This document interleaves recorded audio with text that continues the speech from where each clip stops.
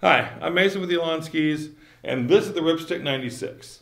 This is the most versatile width that we have in our Ripstick collection. It's going to shred on groomed snow. It's going to give you plenty of flotation in that anything under a foot type fresh snow day. So this is literally a ski you can take all over the mountain.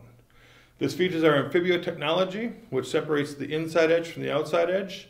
A little bit more camber on your inside edge for better power. A little bit more rocker on your outside edge for better flotation.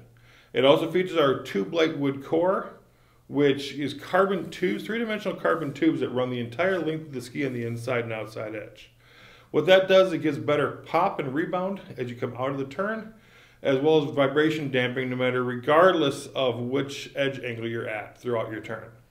So that is the Ripstick 96, our most popular Ripstick collection for good times on the mountain.